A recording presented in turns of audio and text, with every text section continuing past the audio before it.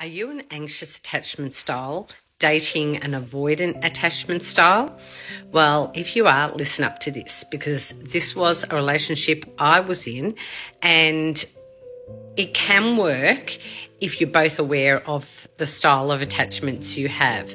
But if you are not aware of the anxious avoidant attachment style, then you could just be constantly triggering each other like we did.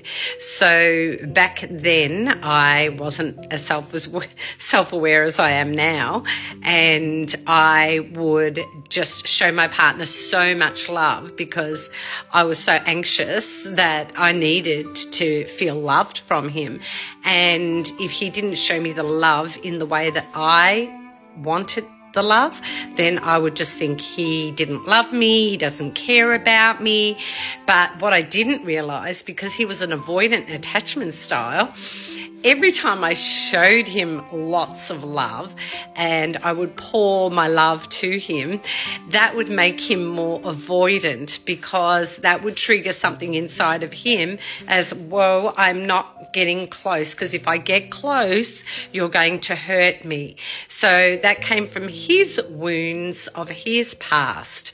Now, when I look at his family, I think, wow, I couldn't understand back then because his family was so loving and beautiful and kind and they were really good people. So I couldn't understand, like it didn't make sense. But then when I realized about the anxious avoidant attachment style and I learnt a little bit more about it, I do remember a time where he was telling me about how his sister was a very uh, unwell child growing up and he felt like the the parents gave his sister all the love and the attention and he felt like he didn't receive that love. Now, we know that's not true as a parent because obviously they had a sick child and they had to focus their attention on that child. But as this boy, we'll call him when he was a boy growing up, his perception was that he wasn't feeling love.